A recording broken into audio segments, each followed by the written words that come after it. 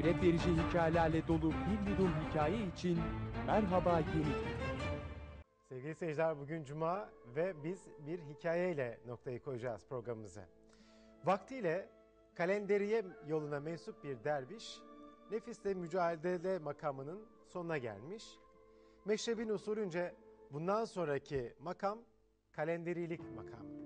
Yani her türlü süsten, her türlü gösterişten arınacak, varlıktan vazgeçecektir. Fakat işi yamalı bir hırka giymekten ibaret değildir. Her türlü görünür süsten arınması gereklidir. Saç, sakal, bıyık, kaş ne varsa gitmek zorundadır. Derviş usule uygun hareket eder ve soluğu bir berberde alır. Vur usturayı berber efendi der. Berber dervişin saçlarını kazımaya başlar. Derviş aynada kendini takip etmektedir. Başının sağ kısmı tamamen kazınmıştır. Berber tam diğer tarafa usturayı vuracakken yağız mı yağız, bıçkın mı bıçkın bir kabadayı girer içeriye. Doğruca dervişin yanına gider, başının kazınmış kısmına şöyle okkalı bir tokat yerleştirir. Kalk bakalım kabak, kalk da tıraşımızı olalım der. Dervişlik bu.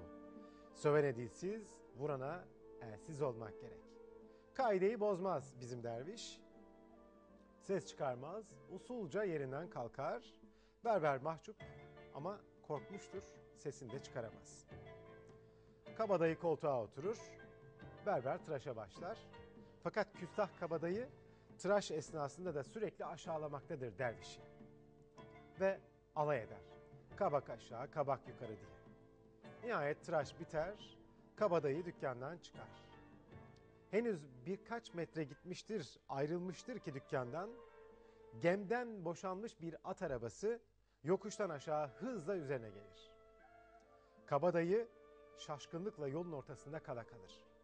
Derken iki atın ortasına denge için yerleştirilmiş uzun sivri demir karnına dalı verir delikanlının. Kabadayı oracığa yığılır kalır. Ölmüştür. Görenler çığlığı basarlar. Berberse şaşkındır. Bir manzaraya bir de dervişe bakar. Gayri ihtiyari sorar. Derviş efendi biraz ağır olmadı mı der. Derviş mahzun, düşünceli cevap verir. Vallahi gücenmedim ona. Hakkımı da helal etmiştim. Gel gör ki kabağın bir sahibi var. O gücenmiş olmalı.